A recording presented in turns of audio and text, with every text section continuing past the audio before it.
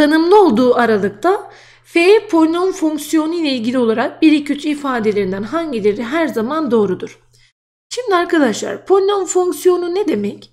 Bir fonksiyon polinomun özelliklerini taşıyorsa o fonksiyon polinom fonksiyonudur. Bir tane örnek polinom yazalım. a çarpı x üzeri m, b çarpı x üzerine. Burada x'in kuvvetleri doğal sayı olacak. A ve B reel sayı olacak.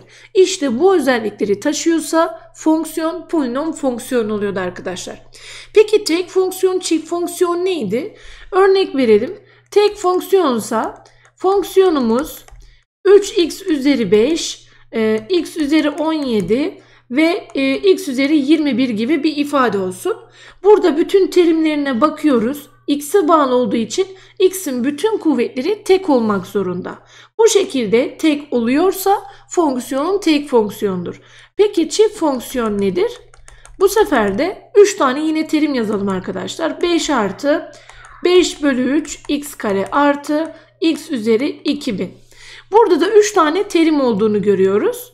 Burada görünmeyen x üzeri 0 vardır. x'e bağlı olduğundan bütün terimlerinde x ifadelerin kuvvetlerine bakıyoruz. 0, 2, 2000.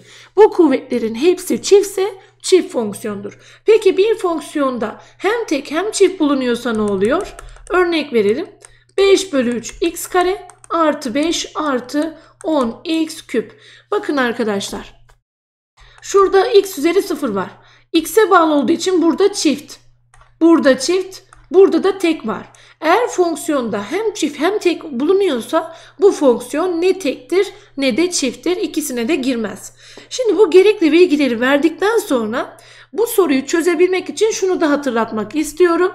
Arkadaşlar böyle kesinlik sorularında ve içinde türev ifadesi de varsa kesinlikle sıfır fonksiyonu aklınıza gelsin.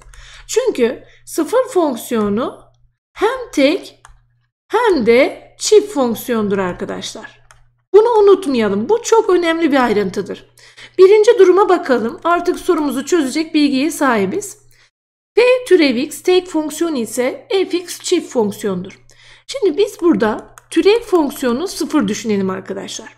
E, fonksiyonun kendisi sıfır olabilir ya da fonksiyonun kendisi bir sabit olabilir bu şekilde.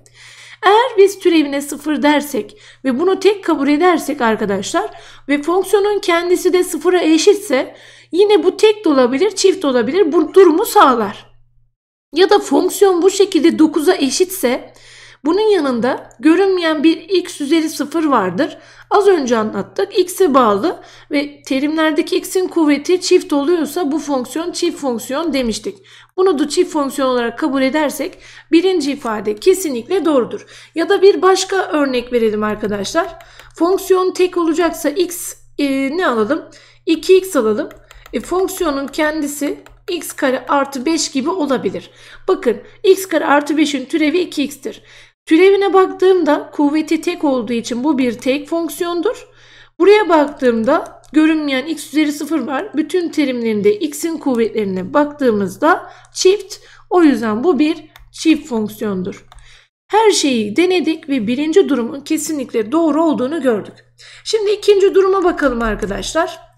F türev x çift fonksiyon ise fx tek fonksiyondur. Örnek verelim. F türev x'imiz sıfırsa arkadaşlar ve biz bunu çift fonksiyon olarak kabul ediyorsak fonksiyonumuzun kendisi aynı buradaki gibi 9'a eşit olabilir. Bu ifade de arkadaşlar x'in kuvveti çift olduğu için çift fonksiyonu verir.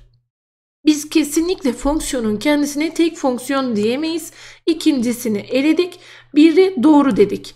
Şimdi üçüncüsüne bakalım fx tek fonksiyon ise f türev x çift fonksiyondur. Mesela fonksiyonun kendisini sıfır düşünürsek türevi de sıfır olacak. E bu hem tek hem de çifttir. Bu durumu sağladı.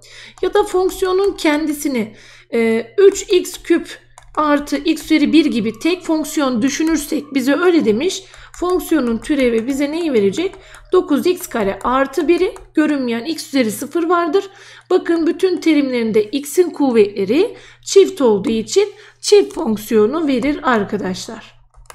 Evet bunu da görmüş olduk. Üçüncü durumda kesinlikle doğrudur. Umarım açıklayıcı olmuştur.